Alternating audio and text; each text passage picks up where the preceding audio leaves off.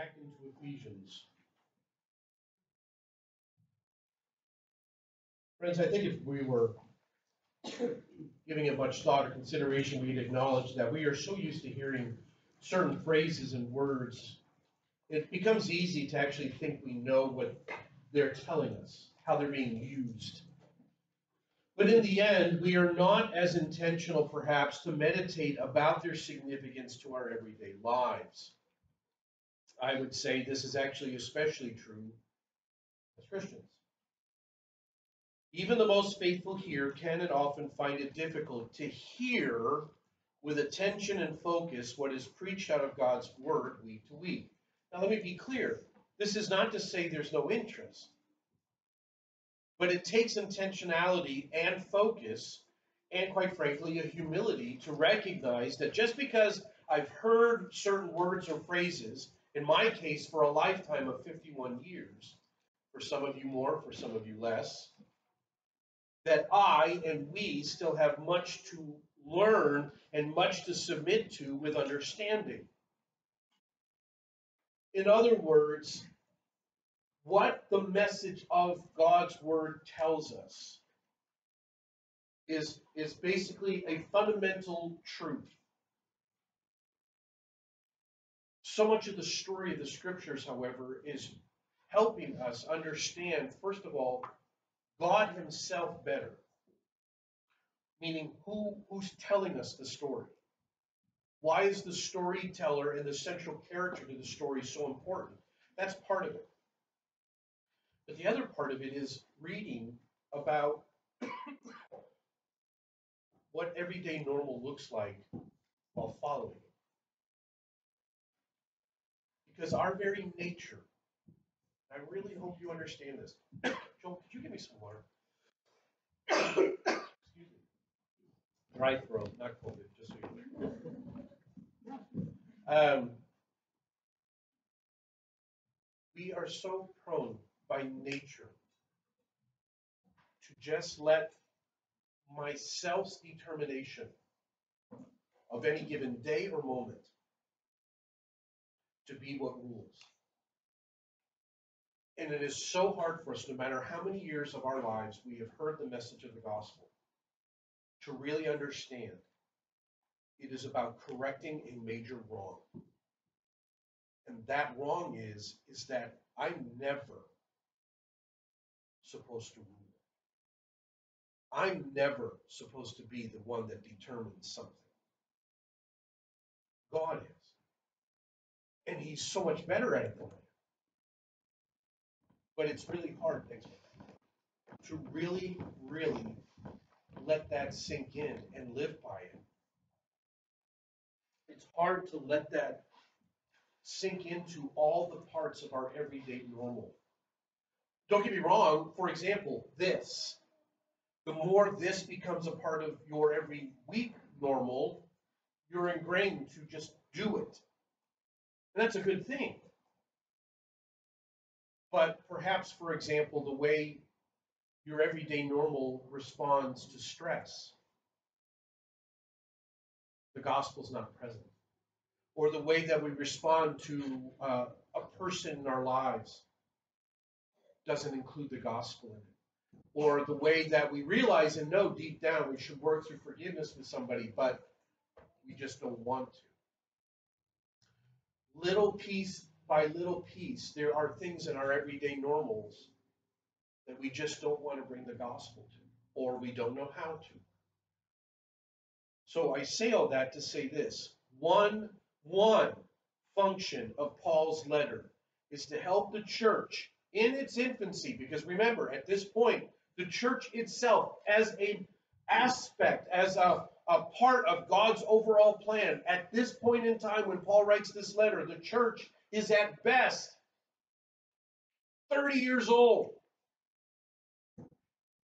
So, Paul, one of the functions of his letter is to help the church in its infancy to better understand the words of our faith, the facts and beliefs of our faith, in such a way that we can start working with the Spirit to incorporate and use these things in our everyday ordinary for God's glory and purpose.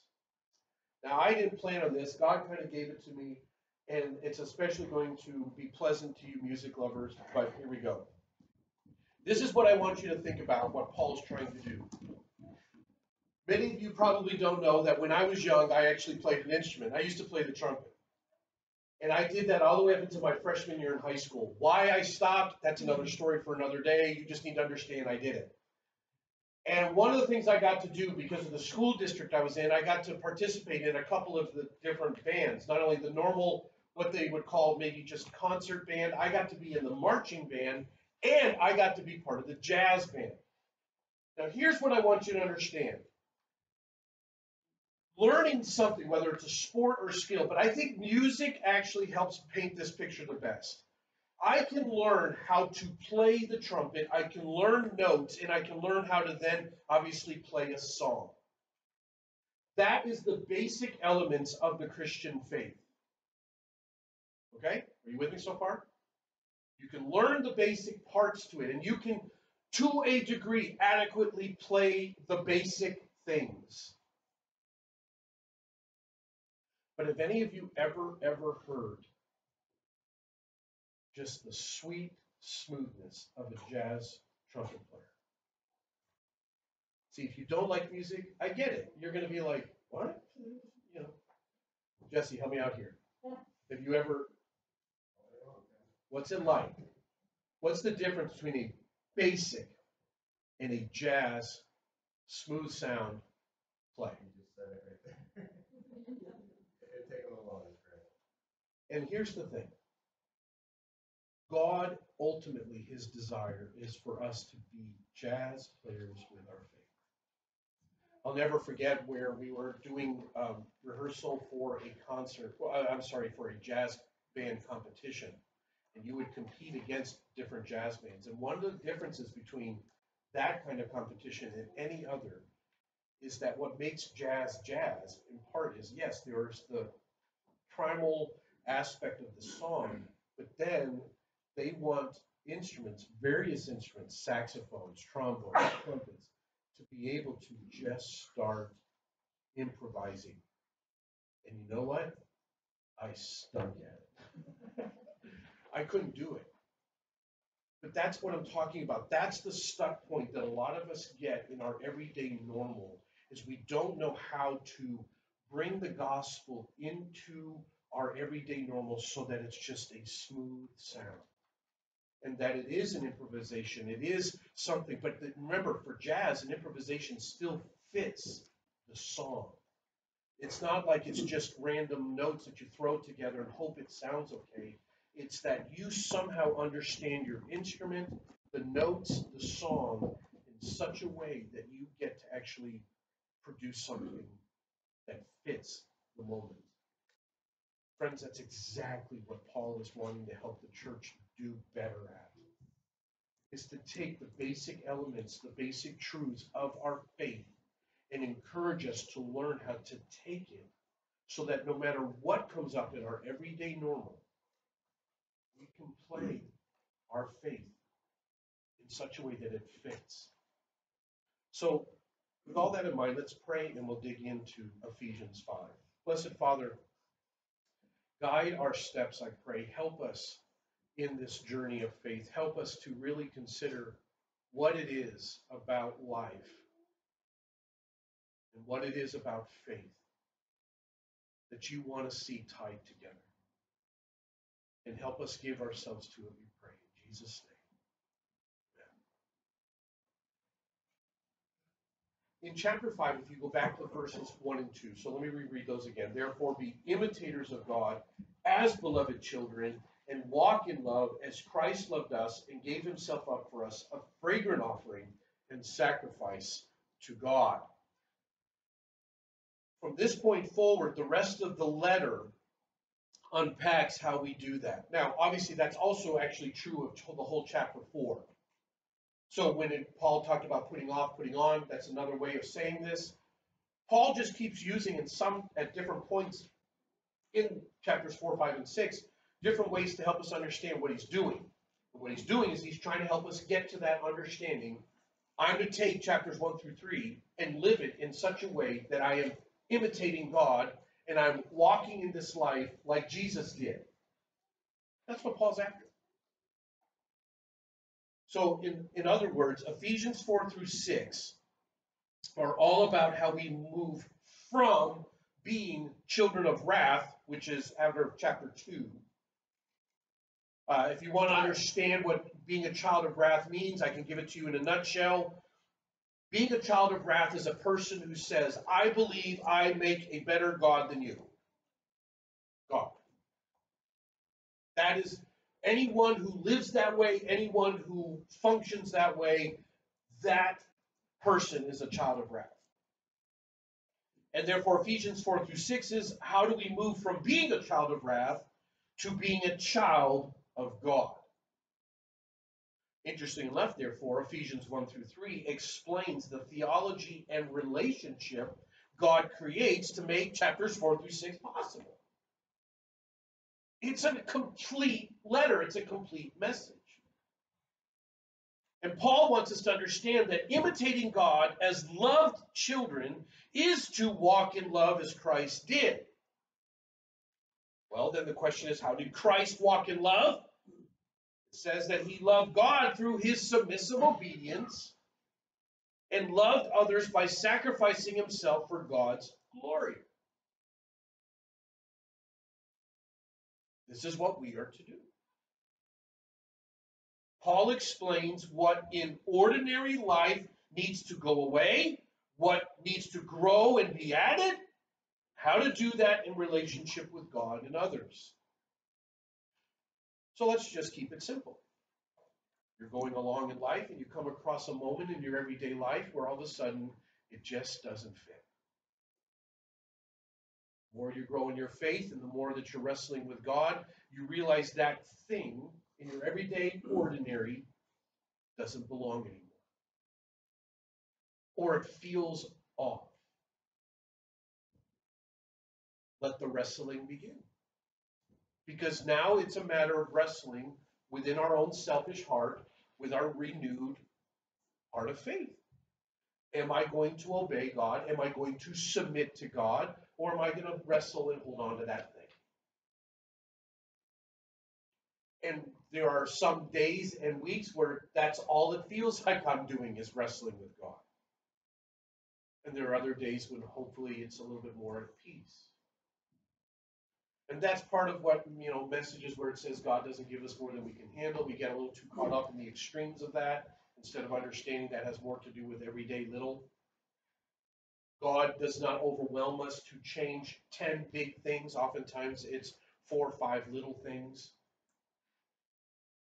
But the point is, is that if we love God and believe in Him, He is going to keep bringing before you things that need to increase or things that need to decrease, things that need to be put away and put off, and things that need to be put on. And a lot of our internal stress, therefore, comes from the fact that we're just not wanting to do it God's way. I don't want to oversimplify it, but there is a simplicity in it. It's just the, what's hard is the doing. What's hard is the submitting. What's the hard is acknowledging that God's way actually is better than mine. And I actually would tell you, take a deep breath. We're all in this together. We all struggle with it. I don't want to say it's okay, but I do want to make it clear it's normal. Part of our normal is wrestling with God. That's why he's so full of grace and mercy. Well, I shouldn't say that's why. It's part of his expression of grace and mercy. He is so very patient with us. And the good news is he knows our hearts better than we do. So, Paul wants us to really grasp the significance and depth of our faith in our everyday normal. So then all of this leads to, in chapter 5, verse 15, look carefully then how you walk or how you live. Now we're starting to get to the nitty gritty of intentionality. Now we're slowly getting more and more to the part of our role. You see, up until this, a lot of it is God telling us, first of all, what He has done to enable a wonderful, amazing relationship. And then he then explains, he starts explaining how we live in that new relationship. But a key part of that then slowly comes down to this one verse. Look carefully then how you walk or live. Walk and live are oftentimes regularly synonymous. They're the same thing. So the first thing you're going to want to ask is why? Why should we walk carefully? Well, first thing I need to tell you then is we can't claim to do or live verses 1 and 2 of chapter 5, imitating God and loving as Christ loved, if we are living in such a way that is characterized by selfishness. You can't say to someone, I am walking carefully, I am imitating God, if I have a way of living in everyday normal that is just characterized moment by moment, day by day, by self centeredness. Love God's way cannot abide with ongoing careless selfishness. Now, I, I have to make sure I'm, I'm doing my job well. I need to remind you this isn't about behavioral or moral perfection. I said a life that's characterized. And I, don't I, I, I'm loath to use percentages because we get too caught up in numbers and comparatives. So a, a life characterized by holiness is a heart and mind that is trying to understand, learn, and do God's thing, God's way. A life characterized by selfishness is a life that actually rarely, if ever, considers God. You fill in the gaps. See, the church wants a percentage. So you're saying, Pastor, if I give 55% to caring about God's way, then I'm okay. Yeah, no, because the very idea that you're thinking of it that way tells me you're not looking for submission, you're looking for an insurance policy. Living a life that is characterized by seeking after God isn't worried about the percentages. It isn't even worried where the line is. It's actually saying, Oh God, oh God, help me to get as far away from my self centeredness as possible. Knowing full well that as I say that, anyone that says that in all earnest is about to make a mad sprint away from selfishness. And they take about 10 strides and then ah, something comes along and now they're back. That's normal. But what we're talking about is a person that literally just stands here in the world of selfishness and maybe looks up to God once in a blue moon, if ever. And they look at their fellow man, and their first question is always, What's my benefit? What will it cost me? Paul saying no. Walk carefully.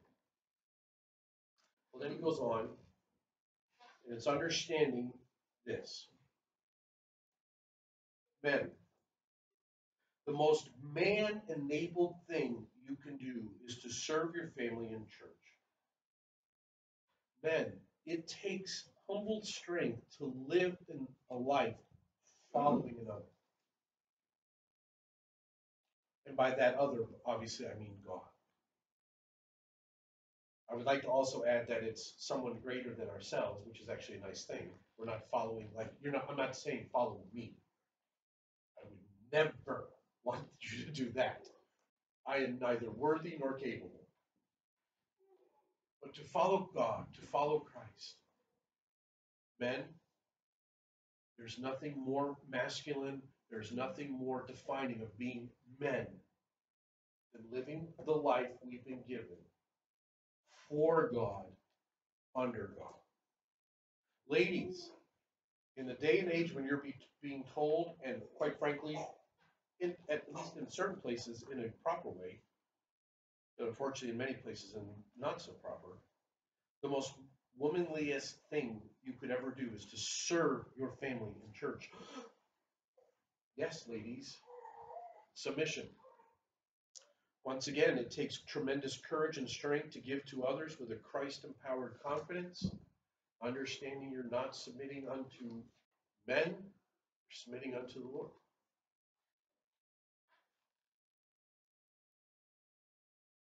Paul unpacks this statement of walking carefully with three factors in verses 15 to 16. First of all, he says, walk or live carefully at how you live. Number one, not as unwise, but wise. If you remember in chapter one, that was actually part of Paul's prayer in the beginning of the book. He says that the God of our Lord Jesus Christ, the Father of glory, may give you the spirit of wisdom and revelation. Paul, there are certain phrases and ideas that he keeps bringing up in the letter. That's important. If he if he repeats wisdom, okay, we need to consider that. And Paul is saying here, look carefully at how you live, not as one that is unwise, but as wise. Well, first of all, where's wisdom come from? It comes from the Lord. All right. What else? Number two, making the best use of the time. And number three, the days are evil. These are three factors he wants us to keep in mind as he says, walk carefully. Well, wisdom, let's start there, has always been the growth of knowing God and his ways while incorporating them into everyday living with growing effectiveness. Listen, there are people who are um,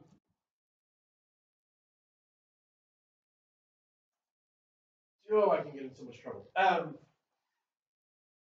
not mentally acute. They they just don't engage life with their brains. And here's the thing. Like I've had people talk like I'll be talking with them and I talk about how much I read and they say how much they hate to read. And immediately you almost feel the, the divide in the room as if I have I do something that's greater than. And it's like, listen, intelligence is not based on the fact if you're capable of being a doctor versus being uh, a plumber. Let me tell you, I've watched, by the way, just in this last week, somebody that expresses the genius of plumbing. Are, are you with me here? They can do plumbing. I look at plumbing and I go, oh my goodness, I'm going to blow up the house. I mean, there's just, there's nothing about it that I get. So if you can do that, to me, you're a genius. We have created in society this division of intelligence instead of understanding that, yes, all of us have different giftings with how our brain works, what it connects to, and therefore what we're good at. And if you're good at medical science, God be praised, He gave you that gift. Wonderful. But doctors are no greater to the society than somebody who can do plumbing. So when I talk about intelligence or stuff, I'm talking about an intentionality of understanding that life does require mental engagement. That you just can't sit on the couch, drool, and be okay. With that being said, understanding that wisdom is not simply an intelligence of understanding information. So let's go back to what I said at the beginning. There are a lot of us that sit in church week after week and we understand the words and phrases of our faith intelligently. The challenge that Paul puts before us is do you understand it with wisdom? And let me say wisdom again. According to the Bible, in all of Scripture, here's what wisdom is it's the growth of the intelligence of knowledge of God and his ways while incorporating them into everyday living with growing effectiveness. That's wisdom. So go back to my analogy about playing music. I could play the notes, I could play even the basic song, but when it came to the uh, uh, improvisation within the song, I wasn't there yet. I still needed more wisdom. I needed to keep growing in my understanding of how to use the instrument within the song for an effective way. Friends, that's our everyday journey of faith. Paul says, walk carefully. How? By being wise as opposed to unwise. Now, what's interesting then is that growing in wisdom comes about when we make the best use of the time God gives each day.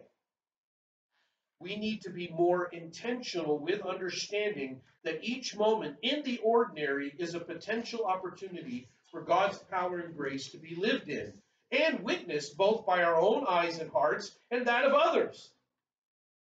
We cannot afford to be passive, friends, against evil, but rather more intentional in pursuing God and His good. Making the most of our days is understanding that in our everyday normal, we have a variety of opportunities to take our faith and use it. The simplest application I can tell you our temperament. I didn't just say temper, our temperament, our mood. Our moods need more gospel application on every given stinking second than we realize. But we like to let our moods fly. We like them to be free. We let them go.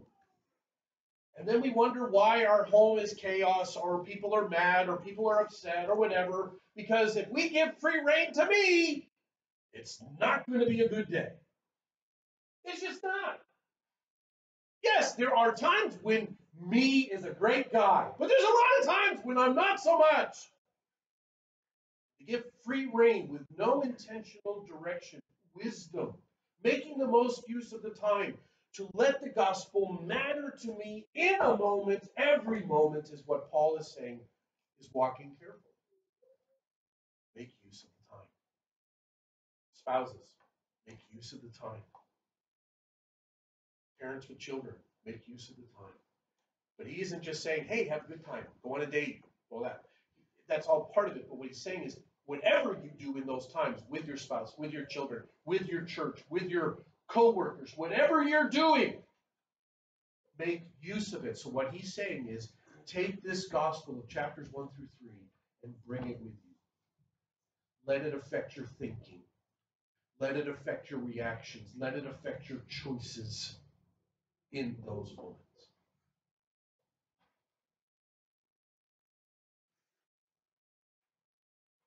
And then that final factor, which leads basically is a good, by the way, good why for the second. Why do we need to make the best use of our time? Well, because if we're growing and carefully walking as an imitator of God by making the best use of the time God gives us, it is an acknowledgement that the days are in fact full of. We have always the potential for evil, and we are surrounded by people with the potential for evil. And unfortunately, we've listened to Hollywood a little bit too much, and we understand too quickly that evil is always the worst of the worst, and instead of understanding that evil is very simple. Evil is the practice of selfish rule versus God's rule. It's that basic. That's evil. And we don't want to think of it that way. We don't want to think that if I choose myself over God in any given moment, I'm being evil. I don't want to see myself that way. So even good Christians who understand sin and understand the need of Jesus to overcome our sin, we don't like to still see and understand our ability to be evil. Because selfishness is an evil thing.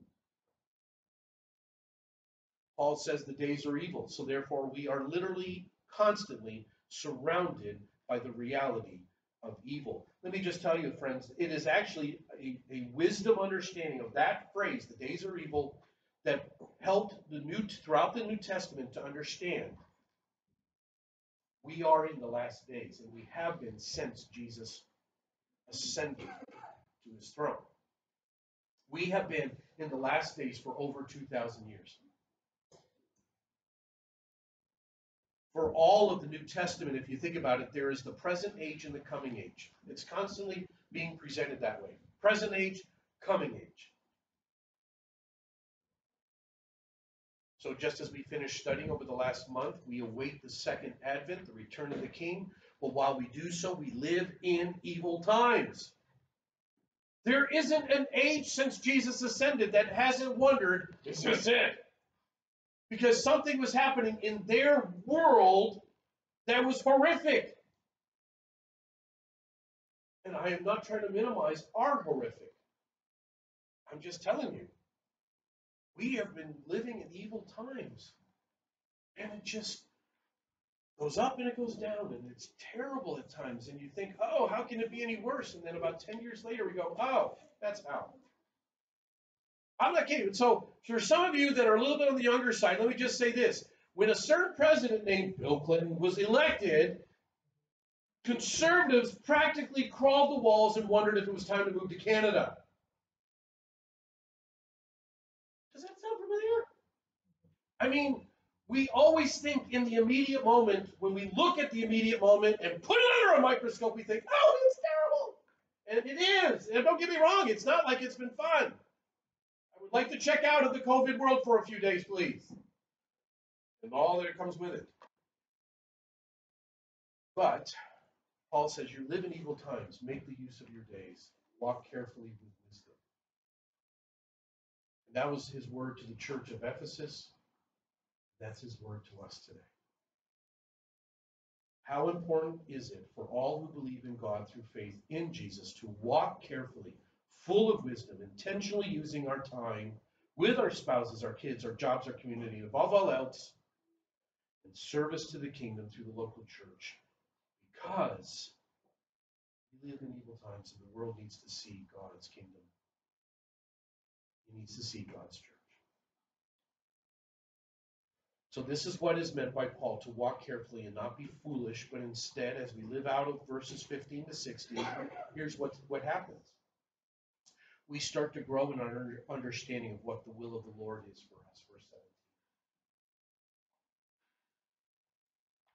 The more intentional we are giving our lives to God in our everyday normal, what God wants of us becomes more clear. And sometimes it's a generic and what I simply mean by that is it's something that any and every believer could do. And sometimes it is a little bit more specific. Sometimes it is a location. As I told you uh, a couple weeks ago, Jeek and I had no idea after seminary and the entire year that we spent in that proverbial limbo that we would end up in upstate New York. That was nowhere near our, our thinking. But God did. God got us here. He did certain steps and things with people. Friends, that's the way it works. More we give ourselves in our everyday normal, God helps us understand what He's doing in our life and around us.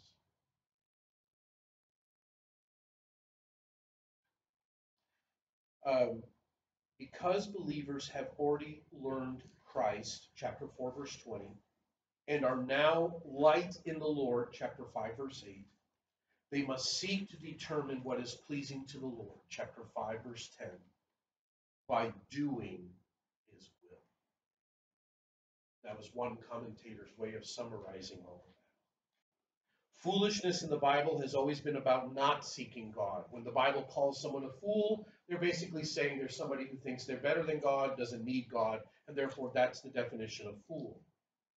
We personally avoid foolishness when we intentionally seek God in his ways.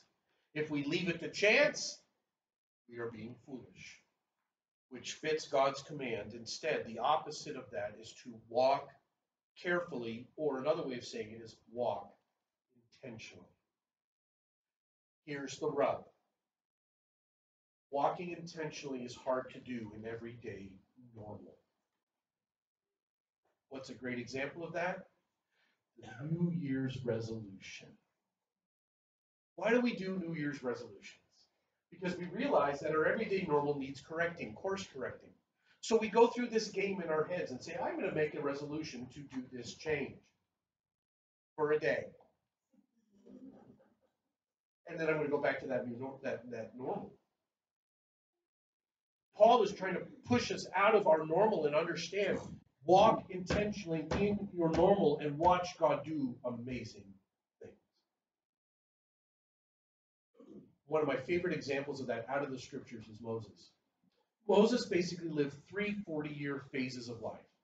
First phase was as a prince, last phase was as a leader of a nation. What was the phase in the middle? Lowly shepherd. He spent 40 years just sitting watching the sheep. Okay, maybe not always sitting, but the point is, is that his everyday normal was watching sheep for 40 years. After, after 40 years of being a prince. Yeah, how's that go for you? I mean, we put these characters, these people in the story of God's word and exalt them and think, woo, what wonderful, amazing people. Moses went from being a prince to a shepherd. 40 years. You want to talk about monotonous, boring, simple. And yet God called him to that for 40 years for a reason. Friends, I don't know what's in your everyday normal.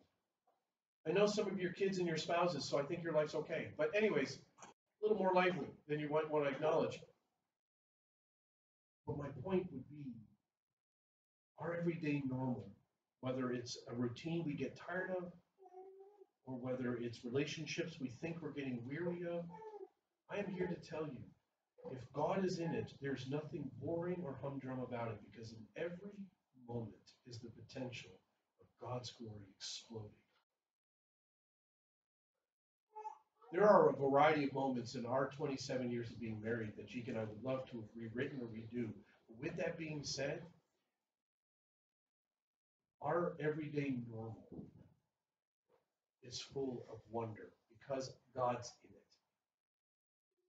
Our three kids, full of amazing wonder because God's in it, not because of us. God just wants to take our normal and use it. Verse 18, Paul then uses a common picture to help the church understand the only way they can accomplish his instructions is through the indwelling power and leading of the Holy Spirit. What's really interesting is that in this letter, and really I, I, I have to laugh at the conservative church a little bit at how it tends to use this verse because it rips it out of its context and uses it in such a way incorrectly. So therefore, what I find fascinating is here. This picture Paul is using is for a reason. Uh, in order to understand how we can walk carefully, Paul uses a term Christians would have understood at the time, and that's debauchery. All right, we don't use it that often, so just in case, let me catch you up to speed on this. Debauchery in its simplicity, out of the scriptures you have at Titus 1 6, 1 Peter 4 4, it means this. Simply put, debauchery means a behavior which shows lack of concern or thought for the consequences of the action. Let me say it again. Debauchery is a behavior that we do which by doing it shows a lack of concern or thought for the consequences of doing such action. In other words, what Paul is saying is that drunkenness can very well lead to stupidity of a whole different scale. You forget where you parked the car. You forget the people you came with. You forget your pants. I mean, there are so many things you end up forgetting because your choices of the alcohol consumption was at such a level where now you're engaging in debauchery. And all that means is, is you're so bombed out of your brain, you no longer are using rational thought or caring about whatever it is you do. And so it's great when you get up on the piano and sing a song and everyone goes, wow, that was actually really good. But in most cases, debauchery goes nowhere good. And Paul is simply to say, don't be led by drunkenness, be led by the Spirit. And I would tell you there's two reasons he's doing this. Number one is, is that it was a common thing in the religions of the day to include drinking in their worship. And let me just say, some people worship really well. Some of you will get that later. Call me when you do. The other reason he's using it is because it's a contrast to the call to live wisely. So he's using this simple example, not only to do it as a, a contrast to false, misleading religions, he's using it to help them understand look, being led of the Spirit leads you to wisdom, it leads you away from foolishness.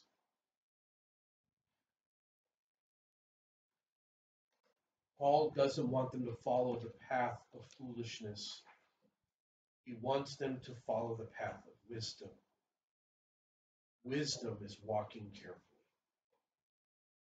So if we do this, verse 18, be led by the Spirit, that then leads to verses 19 to 21. Being led by the Holy Spirit will produce a certain mindset and heart attitude that will make walking carefully more fulfilling and genuine. All right, real quick. First, being led by the Holy Spirit will produce a different fellowship of worship. Fellowship of worship the heart of our worship will be more free, humble, and united. And Paul uses psalms, hymns, and spiritual songs of our hearts will be expressed to one another. Now, I, I will say this I, I don't think Paul is necessarily saying that, therefore, every time believers get together, that the way they encourage each other is that they literally break out in actual song with one another. If you're Amy Aubrey, you will do that, and that's okay. That's who she is, and she does it quite well, far better than I do. I'm not probably going to walk up to you and start breaking out in just as I am or something, okay?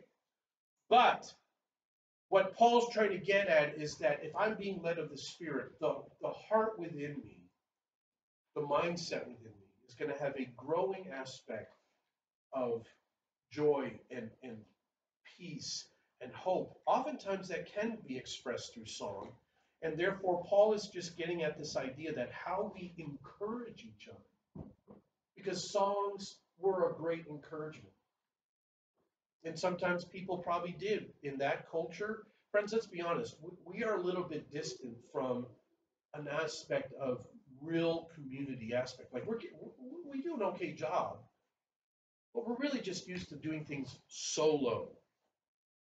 You know, I mean that's just kind of our used to mindset. In a society that is really bound by community, the idea of just getting together, enjoying, sitting on the porch, walking and talking, and sometimes they would just break out in song together. I mean, that would be something they would do. But it was meant to be done together as a mutual encouragement together. Which then leads to the second thing he talks about, which is as we address one another in unity and grace in a corporate way, being led by the Spirit then helps us make melody in our heart also to the Lord corporately and privately. So, in other words, the first thing Paul's getting at is how we horizontally encourage each other. And then the second one is how we jointly together or personally exalt and enjoy God. Which then leads to the third one. Walking carefully, being led, filled by the Holy Spirit, results in a lasting, genuine thankfulness to God for his ongoing provision and presence, even in the midst of hardship.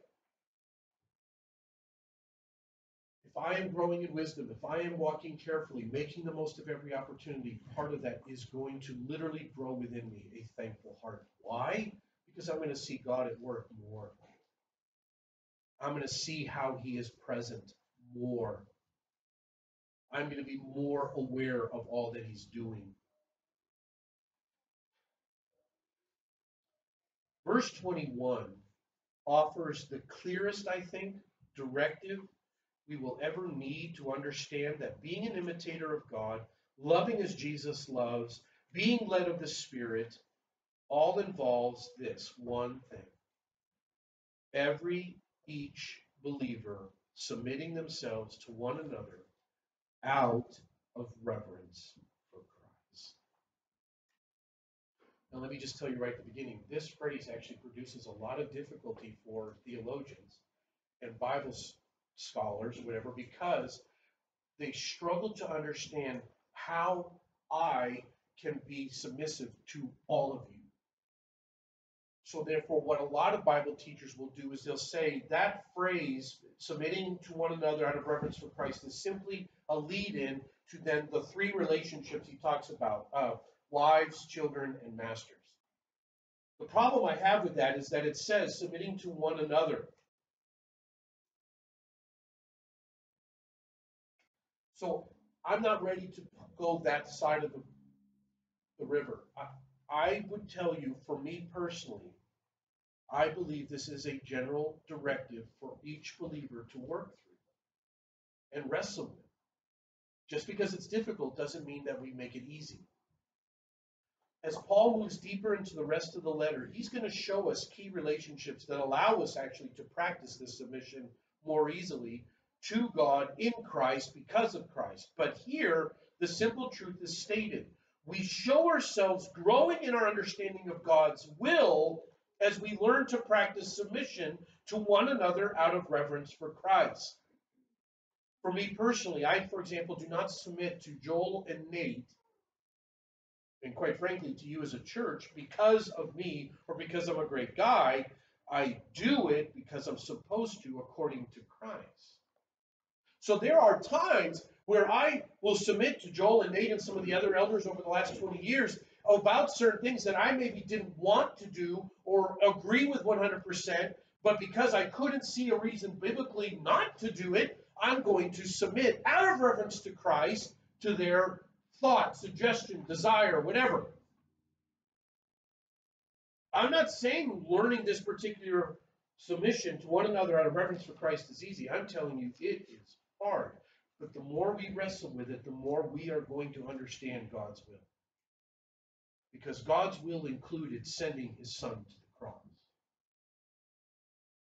If you think that's easy, then I would tell you you're sadly mistaken. So within God's plan, he sends his son to the cross his son has to work through that in his own flesh and obey. And it is that same picture that we are then called to. A martyr, every single martyr that has ever died submitted themselves to the brethren and to what was happening out of reverence for Christ. Yeah, this is a difficult thing submitting to a situation. And once again, immediately we start thinking in two extremes. Does that mean um, I submit to every aspect of abuse or mistreatment and all these other things? And that's one extreme we fall on. The other extreme, therefore, would be is that yes, we just lay down for everything, um, or or submission requires us to be completely abandoned of what it means to be an individual. And my point would be to tell you it's our nature that wants to explain the extreme as if we live there. And just about everything Jesus wants out of us has to do with the everyday normal. So that's really the question you need to ask yourself is what is where is your everyday normal? And what out of it requires a godly submission out of reverence for Christ to the various people around you? Dads, there's an aspect where we actually submit to our children but it's not because we do things their way. It's that we have to give up some of ourselves, our time, our energy in order to raise them. That's being submissive. It's being submissive to the responsibility that they require. If I'm going to have kids, I'd better be aware of the fact that that's going to require some submission on my part. See, some of it's how we think of submission. We think submission means I do what they want. That's not what it's saying. It's saying submitting to an understanding their need, what I have available to give that I may not want to give. But ultimately, the key part of the phrase is out of reverence for Christ. Jesus gave up everything for me. Am I prepared to do the same for God? Through all of you, my relationship with you. That's what we're dealing with. That's what we're wrestling with. So let me land this plane. It's interesting um, where it says the idea of this that our posture of mutual submission is eternally motivated and part of walking carefully in our daily normal as we seek to imitate God. It's actually learning to have a posture in our hearts of submission. Calvin said it this way God has bound us so strongly to each other that no man ought to endeavor to avoid subjection. And where love reigns, mutual services will be rendered. Spouses, if you both love and believe in Jesus, submitting to one another out of reverence for Christ, that means both parties. Now, how that's lived out, Paul's going to get into as we get deeper into chapter 5, which will be really fun. Woo-hoo. Um, and we'll get into that in the weeks to come. But submission. Dear friends, let me just close it this way. Paul's words are both clear and important to our everyday normal. We need to live life on purpose, which is God's purpose. And to do so will require taking care of our choices in every aspect of our daily, normal, and ordinary. God shows up in the ordinary and normal when we are being led by the Spirit, practicing wisdom, making the most of our minutes and hours, while keeping perspective within the context we're living that it includes evil times. God is seen through our genuine thankfulness within our normal hardships. God is seen in our encouragement of one another. God is seen when we submit ourselves to another. I used to love the picture of the knight and how if two if two knights met on the road, or if a prince and a knight met on the road, the knight had to consider the order of rank. The knight would say, "Sir, you have the road." And it's a little bit like that. Whereas we come across a person in our day, daily normal, we have to, the first thought in our minds are, do I need to give them the road? Is that serving the kingdom well? Is it easy? No. Walking careful is not about shame, guilt, or perfection. Walking carefully is about our intentionally learning the will of the Lord with the Spirit's help, using wisdom to know how to then submit my ordinary to His will in all of its little moments. And the more I do that, the more the music I play is smooth and fits the song God has given me. Walking carefully, friends, it, it takes intentionality. It takes willful submission. But it is so worth it. The journey is so worth it. That's what Pilgrim's Progress and so many other things is trying to tell us. It's not about achieving perfection. It's not about figuring it out and once I get it, I've mastered it. And there's no such thing. It's about walking every day in my all the time normal, watching God show up in it. Blessed Father, help us, I pray, with our everyday normal. help us to understand that that is, in fact, where you want to show up. And therefore, Lord, help us to let you. Help us to get out of the way. Help us to be more wise and less foolish. Help us to make the most of our time, understanding the evil around us, learning what your will is and practicing the oh so very difficult submission to one another out of reverence for Christ. Teach us, Lord. And we ask this in Jesus' name.